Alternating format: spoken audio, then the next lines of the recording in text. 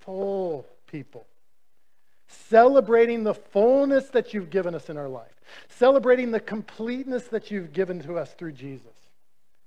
We want to be people that are known to be thankful for the cross and for what it gives us.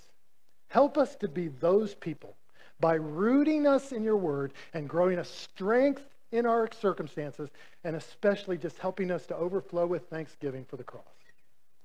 Let it be known this season that believers are thankful, not fearful. And may you get all the praise for it. We ask it in Jesus' name. And everybody said.